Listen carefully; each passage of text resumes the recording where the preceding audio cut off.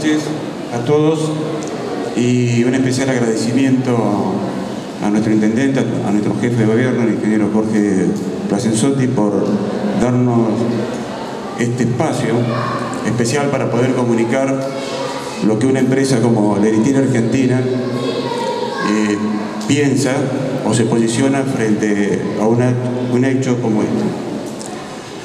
A nivel, suponemos que a nivel de gobierno de una municipalidad, la cantidad de proyectos que deben estar analizando son numerosos y es muy difícil a veces tomar la decisión de cuál va primero, cuál va segundo, cuál definir las prioridades de los proyectos. Hay tantas cosas para hacer. A nivel de empresa nos pasa lo mismo. Hoy tenemos en Leritier cerca de 62 proyectos y tenemos, no nos alcanza el capital para llevar todo adelante, tenemos que estar decidiendo qué va primero, qué va segundo, qué va tercero. A nivel familiar también pasa lo mismo. En toda casa de familia hay muchas cosas para hacer. Y los recursos no alcanzan para todo, entonces hay que elegir qué va primero. Me voy a tomar la confianza de un ejemplo simple. En una casa de familia, ¿se puede vivir sin un parrillero, sin un quincho? Sí, se puede.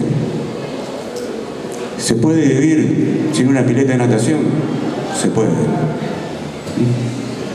Pero aquellos que tienen la posibilidad de, tener esta facilidad de tener un quincho, se pusieron a pensar cuánto mejoró la calidad de vida, cuántas reuniones, cuántas amistades, cuántos afectos, cuántas emociones, gracias a que tenían eso. Y con este, con este centro también pasa lo mismo. No existía antes, fue un proyecto de Jorge. Al principio era algo que estaba en el aire, en tu mente, y después se fue transformando en esto. Y al principio parecía demasiado grande, y hoy queda chico. Y nosotros como empresa, y también a nivel personal, lo utilizamos. Y gracias a que esto existe, hemos podido hacer cosas que si no, no lo hubiésemos podido hacer acá en San Carlos. Y de esa forma sumamos también granitos de arena a ese eslogan de hecho en San Carlos. Entonces acá en este lugar tuvimos la oportunidad de realizar en varias ocasiones las convenciones nacionales de venta, donde todo nuestro equipo comercial de todo el país venía acá y se quedaba asombrado y maravillado que una municipalidad de una ciudad tan chica estuviera ofreciendo este tipo de infraestructura. Y también hemos utilizado mucho la sala de reuniones. Así como usamos el auditorio, también la sala de reuniones para reuniones más chicas. Pero también hemos utilizado el resto de la infraestructura, los servicios, porque también eso es importante para poder hacer reuniones grandes. Tener una cocina, tener buenos sanitarios, tener comodidad.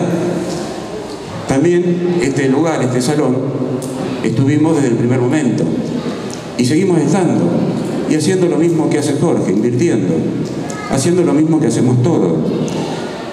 Así como daba el ejemplo del quincho, la pileta, a la pileta hay que mantenerla, hay que invertir. Es lo que hacemos siempre en todo. Todas las cosas que nosotros tenemos y queremos, las cuidamos y hay que invertir. Y lo que ha hecho ahora Jorge es justamente eso, cuidar algo querido, algo que es valorado, valorado por la comunidad. Entonces lo vemos muy bien. Y también pensamos la cantidad de cosas que se están haciendo acá, no solamente por la parte empresaria, la parte industrial, que es muy bueno, sino también por las otras áreas de la comunidad. La cultura, la educación. Hay muchas actividades que antes no se hacían, no se hacían de una forma distinta y ahora se pueden hacer mucho mejor. Mucho mejor. El, el hecho de tener estas tecnologías permite algo muy grande, que es acercarse a los niños, acercarse a los jóvenes. Nosotros como empresa nos cuesta muchísimo acercarnos a nuestros consumidores de golosinas. ¿Por qué? Porque están en el celular. No están más en la pantalla del televisor. Están con el celular. Y hay que adaptarse y hacer esos hologramas, que nosotros también ya empezamos a hacerlos, porque hay que hablar el lenguaje de los chicos, el lenguaje de la juventud. Entonces todo esto es trabajo están en la dirección correcta. Haber invertido en reflotar, en poner a punto, en valorizar y refuncionalizar este salón, lo vemos como un hecho positivo, por eso estamos presentes y acompañando. Y también quiero comentarle, sobre todo a Jorge y a Juan José, que esto también nos ha sacudido a nosotros, porque si la municipalidad toma este trabajo, invierte en ponerlo en condiciones, nosotros no nos podemos quedar mirando desde la tribuna. Por eso estamos acompañando, haciendo cosas que queremos que estén bien, no zafando, no lo mínimo, no haciendo inversión. Ahí hay un puesto, le puede haber un puesto de trabajo ahí. Es sumar otro granito de arena al, hecho de San Carlos. Y va a tener su complejidad, pero aceptamos eso. Pero aparte hay otra cosa que ustedes no lo saben, pero que esta sacudida, todo este movimiento también nos hizo replantear a nosotros internamente, che, tenemos que replantear, tenemos que rever lo que el hace por todo este movimiento que es el turismo a San Carlos, el turismo escolar, el turismo productivo, el turismo industrial, del cual somos parte de ese engranaje. Y si acá se hacen estas cosas, también hemos reflexionado que en nuestras plantas también tenemos que hacer más cosas para mejorar, mejorar las condiciones de los visitantes. ¿A quién no le gusta tener una visita en su casa? Yo creo que a todos nos gusta. Pero acá son 50, 60, 70 mil visitas que se meten en nuestra casa. Y hay que atenderlas bien.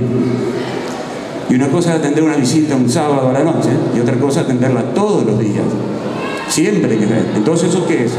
Y bueno, otro concepto, continuidad del trabajo, continuidad del esfuerzo, cosas permanentes, de mediano plazo, no el de tapo acto con alambre y, y miro para otro lado.